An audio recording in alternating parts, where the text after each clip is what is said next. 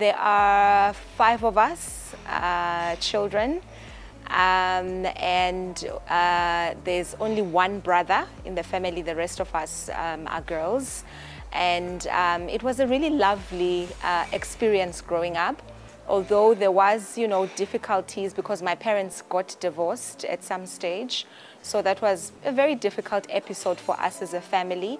But once again, I think watching my mother specifically and how she continued to be strong and how, um, in fact, both of my parents, you know, continued to be there for us despite the fact that, you know, the family was no longer together. It really instilled a sense of the importance of family and family values and the importance of staying together as a family as I grew up. The divorce definitely had an impact on me um, as a young uh, child.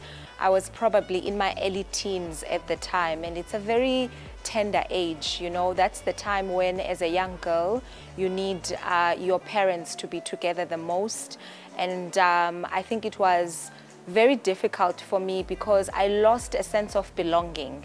I think one of the impacts of divorce, especially on young girls, is how you lose the sense of belonging and you are always looking for friends, you are always looking for other groups, other people who are going to accept you because you feel like you don't have something of your own.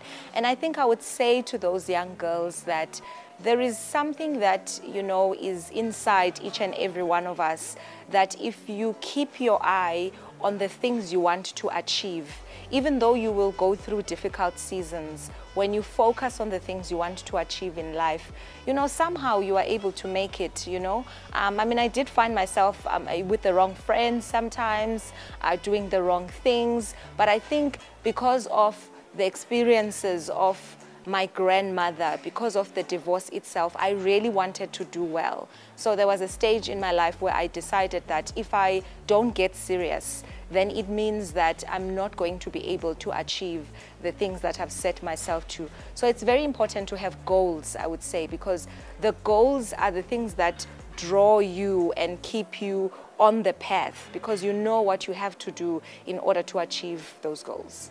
Um, so I went to very good schools, I think from a very early age. Um, and even though the area where I grew up, which was a small township called Mdantsane, just outside of East London, even though that area was not a well-to-do area, but there were very good schools. And I think one of the lessons or tips that I can share uh, with young people and young girls out there is that you must learn to work with what is available.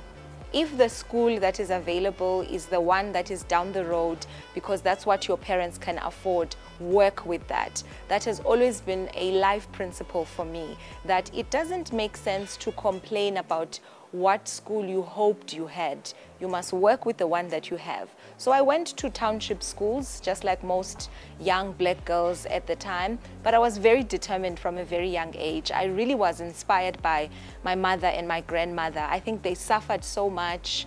Uh, they spent so much time working for other people and not having time for the family because they were trying to make a living for us. So deep down in my heart, I had this desire that I wanted to be better. I wanted to make things easier for those children who would come after me. And so um, I progressed through those township schools and then because of the divorce, we had to move to a different town. And that's the other thing about life, you know, sometimes things don't work out according to plan and you've got to be very flexible. You've got to be very adaptable.